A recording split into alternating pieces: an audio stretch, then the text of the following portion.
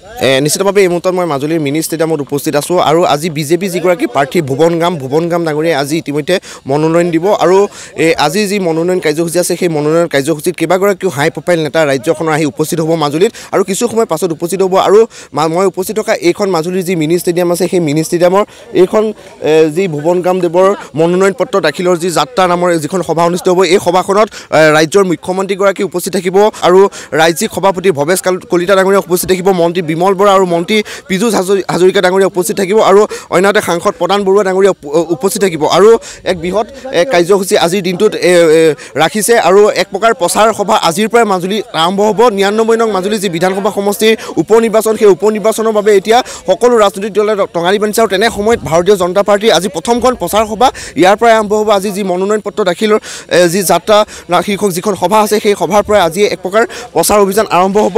আৰু বিজেপিৰ ইয়াৰ নেতাসকল আহি উপস্থিত হৈছে। মই প্ৰথমে দীপক গোস্বামীৰ পৰা জানিব বিচাৰিম কেইবজাত মুখ্যমন্ত্ৰীগৰাকী আহিব আৰু মনোনয়ন পত্ৰ কিমান সময় দিয়া হ'ব? ন পঞ্চল্লিছত আহি আমাৰ মাজুলীত তেখেত পদাৰ্পণ কৰিব। তাৰপিছত পোনে পোনে আহি আমাৰ এই নমিনেশ্যন দিয়া কাৰ্যসূচীত তেখেতে অংশগ্ৰহণ কৰিব।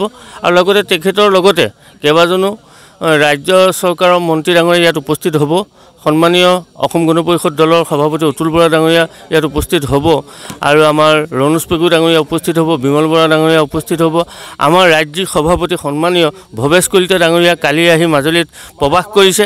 তেখেতো আজি এই কাৰ্যসূচীত অংশগ্ৰহণ কৰিব। আৰু আমি ভাবিছোঁ আজি এই কাৰ্য কাৰ্যসূচী সফলভাৱে আমি ইয়াত ৰূপায়ণ কৰিব পাৰিম।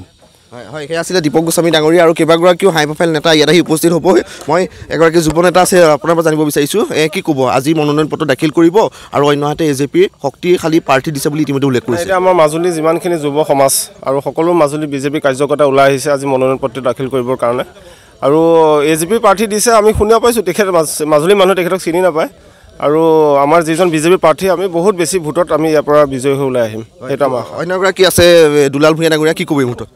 হয় আমি আজি নমিনেশ্যন প্ৰদান কৰিম এঘাৰটা বজাৰ ভিতৰত।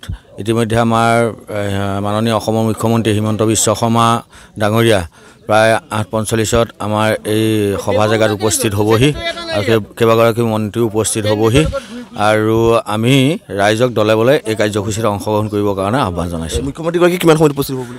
আঠ পঞ্চল্লিছত হয় মুখ্যমন্ত্ৰীগৰাকীৰ সৈতে অগপৰ সভাপতি অতুল বৰা ডাঙৰীয়া আৰু ৰাজ্যিক সভাপতি ভৱেশ কলিতা ডাঙৰীয়াৰ সৈতে কেইবাগৰাকী মন্ত্ৰী উপস্থিত হ'ব আৰু ইয়াৰ বাবে কটকটীয়া ব্যৱস্থা ইয়াত গ্ৰহণ কৰা হৈছে। ইয়াত আৰক্ষীৰ তৰফৰ পৰা আচলতে যিটো নিৰাপত্তাৰ দিশটো তাৰ ওপৰত গুৰুত্ব দিয়া হৈছে আৰু পুৱাৰ ভাগৰ পৰা ইয়াত কটকটীয়া এ, ভাৱে আৰু আৰক্ষীয়ে আচলতে নিৰাপত্তাৰ দিশটো ইয়াত চালি জাৰি চাইছে। আৰু ইয়াত প্ৰায় যিহেতু যিসমূহ আচলতে মই দেখি- দেখিবলৈ পাইছোঁ আচলতে ইতিমধ্যে ইয়াত আসন সাজু কৰি ৰখা হৈছে। যথেষ্ট লোকৰ সমাগম হ'ব। মাজুলীৰ ভিন্ন প্ৰান্তৰ পৰা বিভিন্ন লোক আহি ইয়াত উপস্থিত হ'ব।